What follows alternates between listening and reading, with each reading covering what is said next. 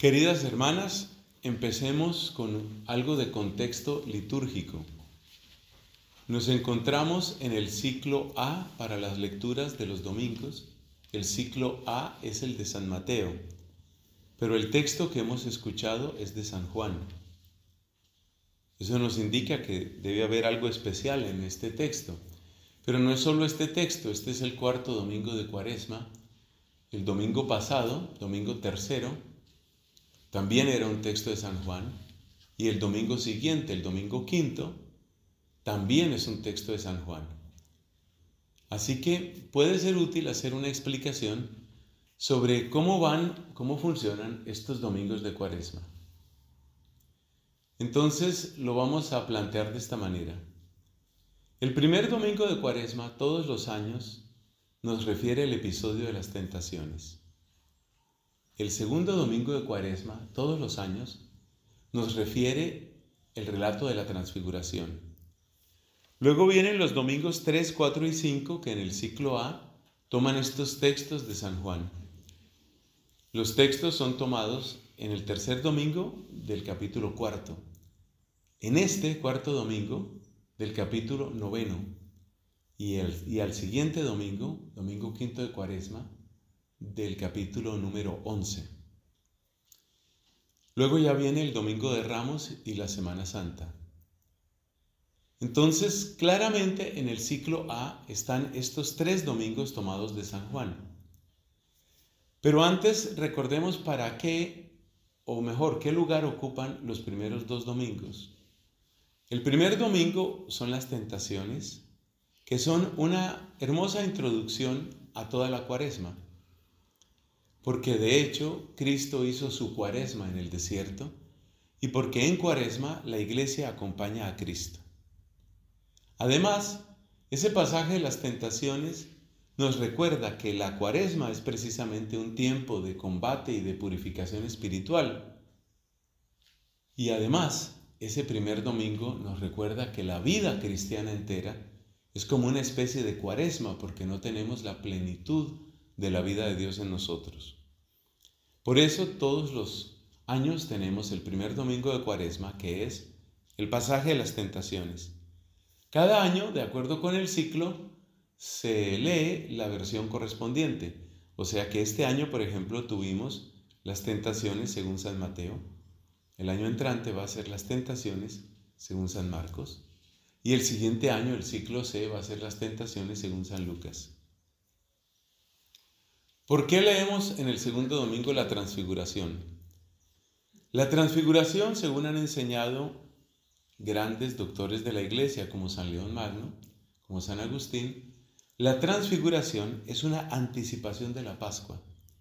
O sea que si el primer domingo nos ayuda a entender qué es la cuaresma, el segundo domingo nos da una rendija de luz para que podamos ver lo que viene después. Lo que viene es la Pascua.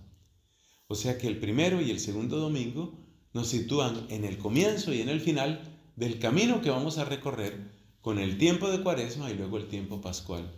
Podemos decir que el primer domingo nos presenta algo así como ¿qué es la cuaresma? Y el segundo domingo nos presenta para dónde vamos, que es la Pascua. Ahora encontramos en el ciclo A estos tres domingos, el domingo de la Samaritana, el domingo del ciego y el domingo de la resurrección de Lázaro. ¿Qué tienen en común estos domingos y por qué aparecen en la liturgia? Si nos damos cuenta, hay dos características que tienen estos tres domingos. La primera característica es que en cada uno de ellos hay un encuentro. La palabra encuentro es muy descriptiva y muy apropiada para referirse a estos tres domingos. El domingo número cuatro es el encuentro entre Jesús y la samaritana. Este domingo cuarto es el encuentro entre Jesús y el ciego de nacimiento. Y el domingo siguiente es el encuentro entre Jesús y Lázaro que ya estaba muerto. Encuentro. Porque es que la cuaresma es un tiempo para encontrarnos o reencontrarnos con Cristo. A la vez, en cada uno de estos domingos tomados del Evangelio de Juan, hay una palabra clave, una realidad que sirve como de imagen de lo que Cristo quiere hacer en nuestra vida. La palabra clave en el Domingo de la Samaritana es el agua. Agua que satisface nuestra sed. Cristo portador del agua viva. Cristo que trae esa agua, el único que puede realmente colmar nuestra sed. Ese es el domingo tercero de Cuaresma. Luego, en este cuarto domingo la palabra clave es la luz. Cristo que trae la luz. Luz para que veamos nuestro camino. Luz para que lo reconozcamos a Él. Luz para que no nos tropecemos y sigamos en las tinieblas. Entonces, tercer domingo el agua, cuarto domingo la luz. El quinto domingo, la palabra clave es evidentemente la vida. Cristo que trae la vida. Fíjate cómo funcionan esos domingos. Cristo trae el agua, Cristo trae la luz, Cristo trae la vida. Cristo trae el agua para nosotros que somos los sedientos. Cristo trae la luz para nosotros que somos los ciegos. Y Cristo trae la vida para nosotros que estamos como muertos. El encuentro ahí es con Lázaro y la palabra clave es la palabra vida. Así que estos tres domingos nos van llevando como de la mano para que recordemos la esencia de nuestra fe en Cristo. Es decir, Él es el que trae el agua y sacia mi sed. Él es el que trae la luz y cura mi ceguera. Él es el que trae la vida y me hace vencer la muerte. Son evangelios que hacen un itinerario. Además, estos evangelios aparecen en el orden natural. Ya dije, son capítulos cuarto, noveno, y 11 de San Juan. Por eso se dice que estos domingos tienen un carácter de catecumenado. Estos domingos tienen una, estos tres domingos tomados de San Juan tienen una antiquísima presencia en la liturgia de la iglesia y eran domingos, eran textos utilizados especialísimamente en el catecumenado.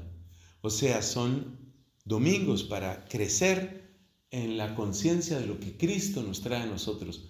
Domingos para descubrir lo que Cristo significa en nuestra vida. Él es el que me da el agua viva, Él es el que me da la luz verdadera, es el que me da la vida nueva. Otra característica que une a estos tres domingos es la fe.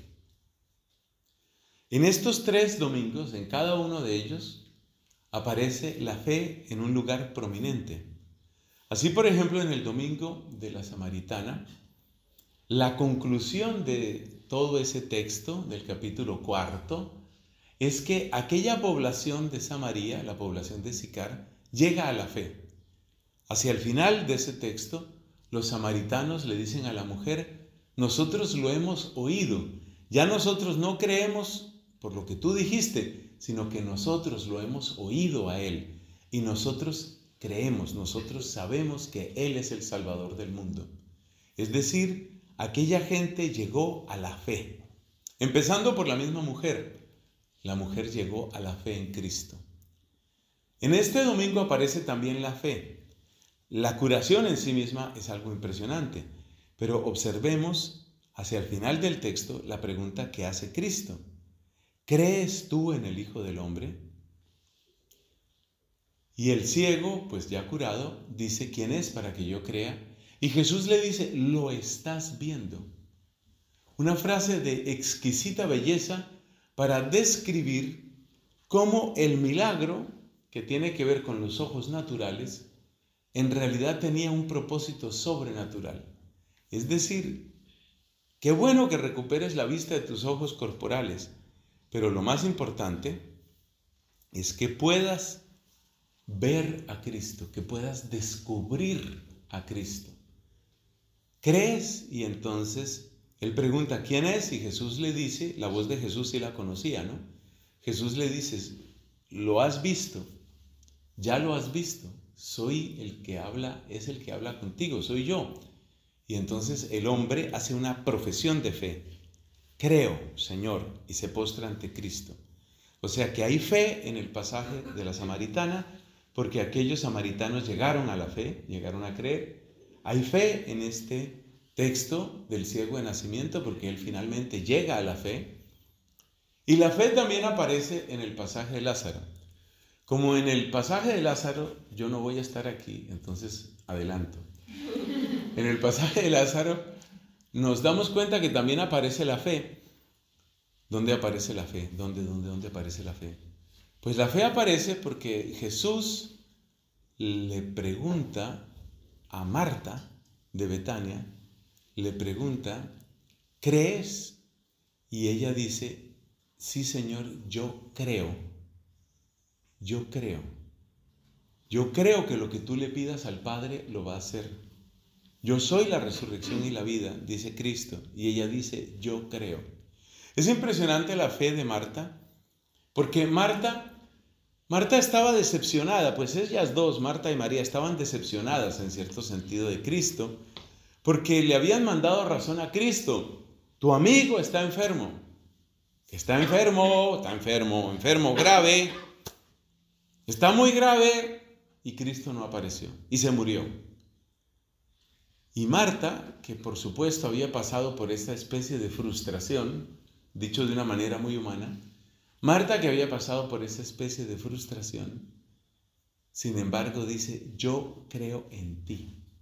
Aunque no me respondiste cuando yo quería, yo creo en ti. A mí me, me encanta esa profesión de fe de Marta porque yo creo que muchas veces nosotros pasamos por una experiencia semejante a la de Marta. Es decir, sentimos que cosas que le pedimos a Dios no suceden. Hay cosas que no pasan, hemos rogado y no han sucedido.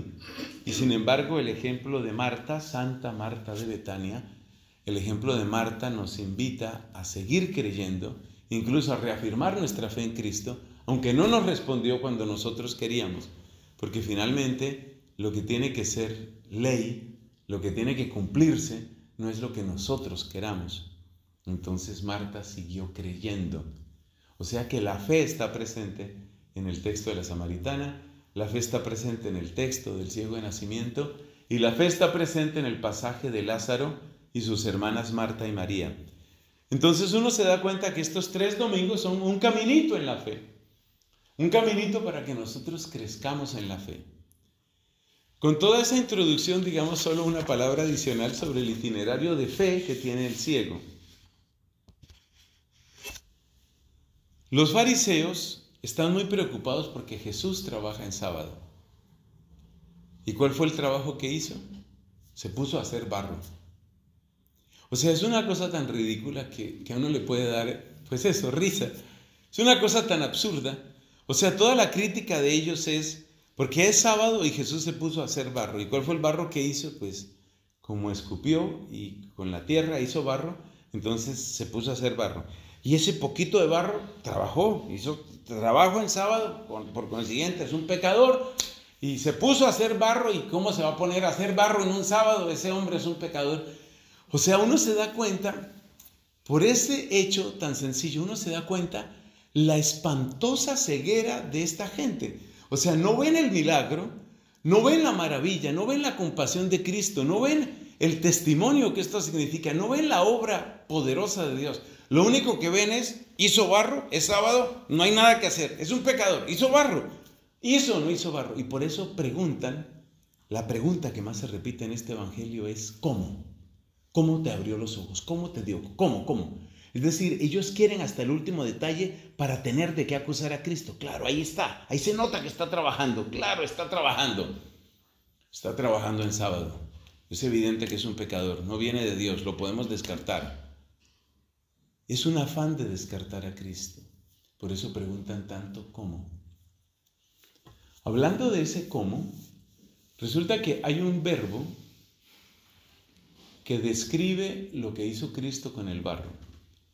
En esta traducción, que es la que hemos leído fielmente, en esta traducción, desde el principio hasta el final se dice untó. Untó con barro los ojos del ciego. Bueno, entonces, pues siguiendo los consejos de Santa Teresa el Niño Jesús, es bueno tratar de aprender griego y aprender hebreo. Entonces uno se va al griego y busca cuál es el verbo. ¿Cuál es el verbo? Y el verbo es el verbo epigrio, epigrio. El verbo epigrio viene de grio Y el verbo grio significa ungir. Eso cambia un poco las cosas. O sea, Jesús lo que hizo fue ungir los ojos de este hombre. Por cierto, del verbo grio en griego viene Christos. Christos significa exactamente ungido, el ungido. Entonces, en este pasaje, lo que encontramos es que el ungido, el Christos, es el que, con ese verbo epigrio, unge los ojos. O sea, la manera como sucedió, ya que los fariseos preguntan tanto, ¿cómo? ¿Cómo te hizo? ¿Cómo te curó? ¿Cómo te curó? Pues lo que hizo fue ungirle los ojos. Y entonces uno se pregunta, bueno, pero es que ungir siempre supone alguna forma de aceite. Y ahí no aparece aceite porque está el barro y está la saliva, pero no aparece aceite. Ah, es que eso es lo maravilloso del milagro. Lo maravilloso del milagro es que de Jesús sale la unción. Es decir, el aceite que utiliza Cristo es su propia unción. Él es el Christos y él toma de su crisma, crisma o crisma decimos en español, el crisma es el aceite. De su propio crisma toma Cristo su unción y es la unción de Cristo la que cura los ojos de este hombre. Eso es algo muy, muy bello. Porque entonces Cristo lo que hizo fue participarle de su unción al ciego. Y eso es lo que hace también con nosotros. Cristo cómo nos cura a nosotros, dándonos de su unción. Esa unción es la que en griego se llama crisma. Y ese crisma, esa unción, ¿cuál es? pues es el aceite de júbilo que dice el Salmo 45, y ese aceite de júbilo es el don del Espíritu Santo. Entonces, mira qué cosa tan hermosa. Cristo con el barro, con la saliva, que según San Agustín representa la palabra, con el barro de nuestra naturaleza, con su palabra representada en esa saliva, y con la unción del Espíritu hace de nosotros criaturas nuevas nos da ojos, nos da ojos para ver. Se necesita nuestra humilde naturaleza, se necesita el poder de la palabra y se necesita la unción del Espíritu. Entonces este hombre cuenta, me puso barro en los ojos, me lavé y veo. Le preguntan, ¿tú qué dices del que te ha abierto los ojos? Que es un profeta. Un profeta. Por ahí empieza el caminito de la fe para este hombre. Más adelante los fariseos dicen, le hacen la pregunta más solemne que se le puede hacer a un judío. La pregunta más solemne, más seria que se le puede hacer a un judío es la pregunta que aparece aquí. Da gloria a Dios. Esa es una fórmula supremamente seria para todo judío. Da gloria a Dios significa lo que tú vas a decir tiene calidad de juramento. Es como si se le dijera, júralo, Júralo en nombre de Dios. Da gloria a Dios. Aquí traducen, confiésalo ante Dios. Nosotros sabemos que ese hombre es un pecador. Y cuando ellos ponen a este ciego, por decirlo así, contra la pared y le dicen, di la verdad, la verdad que sale de él es, yo sé que yo era ciego y ahora veo. Y dice también, a un pecador no le concedería a Dios realizar un milagro de estos. Yo no creo que Él sea un pecador. Si Él no viniera de Dios, no tendría ningún poder. Fíjate cómo va creciendo en la fe. Y ese camino pues tiene su culminación en lo que ya dijimos, cuando ya se encuentra con Cristo y Cristo le dice, ¿crees en el Hijo del Hombre? Y finalmente este hombre dice, sí creo y se postra ante Él. Bueno, pidamos al Señor que llegue a nosotros la palabra de Cristo, que llegue a nosotros la unción de Cristo y que nuestros ojos se abran, se abran para reconocerlo a Él, se abran para reconocerlo en todas las partes donde Él está. Porque Cristo está en muchas partes. Cristo está en la naturaleza porque todo fue hecho por Él. Cristo está en las escrituras porque el mismo Cristo dice, ellas hablan de mí. Cristo está en los pobres, en los desvalidos, en los disminuidos, porque Él dijo, todo lo que hagáis a mis hermanos más pequeños me lo hicisteis a mí. Cristo está en la Eucaristía porque Él dijo, esto es mi cuerpo, esta es mi sangre. Cristo está en la gloria del cielo y lo contemplamos en esperanza para servirlo. Entonces que nuestros ojos estén abiertos para reconocerle en todas partes. Amén.